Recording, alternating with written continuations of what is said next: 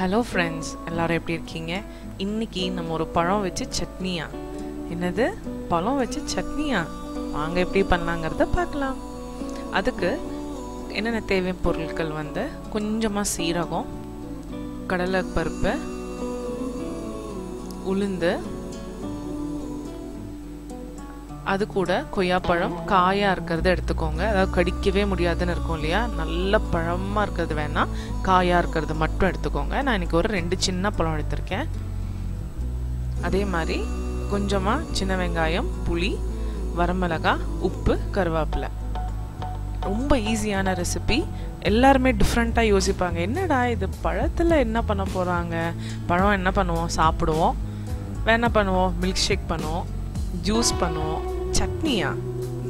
பாருங்கள் இவ்வளோ சூப்பராக இருக்க போகுதுன்னு இப்போ வந்து நான் எல்லாமே சீரகம் மட்டும் கொஞ்சம் கம்மியாக போட்டுக்கோங்க. அரை டேபிள் ஸ்பூன் அளவுக்கு.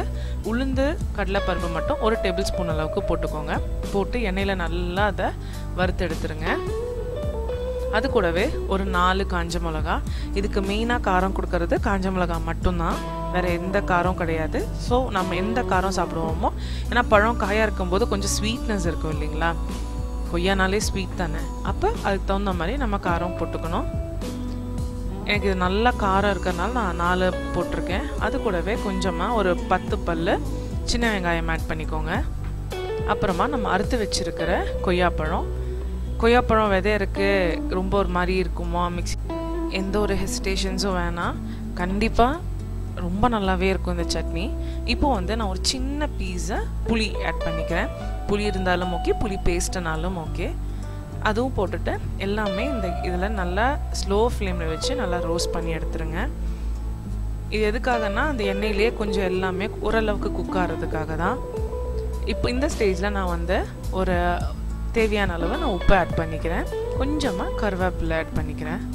நம்ம தாளிக்கறக்கும் கருவேப்பிலை ஆட் பண்ணிப்போம். ஸோ நோ வரீஸ் பாருங்கள் நல்லா நம்மளுக்கு எல்லாமே ஓரளவுக்கு வெந்துருச்சு. ஹாஃப் குக்டாக இருந்தால் பண் போதும். இதை வந்து நான் மிக்சி ஜாரில் மாற்றிட்டு நல்லா ஃபைன் பேஸ்ட்டாக பண்ணிக்கோங்க.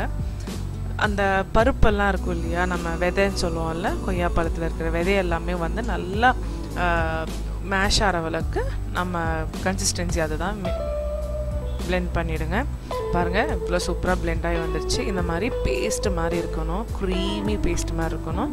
ஸோ இதை வந்து நம்ம சர்விங் பவுலில் நம்ம மாற்றிடலாம்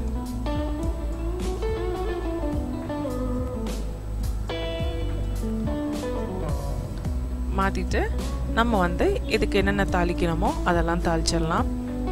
ஏன்னா இது வந்து பெரியவங்கனால காய் சாப்பிட முடியாது. மெயினாக சுகர் பேஷண்ட்ஸுக்கு வந்து நம்ம பழமாக கொடுக்கவே கொடுக்காதீங்க. காயாக தான் கொடுக்கணும். ஸோ காயாக சில பேர் சாப்பிட முடியாது. ரொம்ப ஹார்டாக இருக்கும். இல்லை அவங்களுக்கு எதுனா கேவிட்டிஸ் ப்ராப்ளம் இருக்கும். அந்த மாதிரி இருக்கிறவங்களுக்கு இந்த மாதிரி சட்னி. இது ஒரு ஆப்ஷன் தான். ஒரு நல்ல சாய்ஸாக கூட இருக்கும். சட்னி பண்ணி தோசை சப்பாத்தி இட்லி சான்ஸே இருக்காது. கண்டிப்பாக ட்ரை பண்ணுங்கள்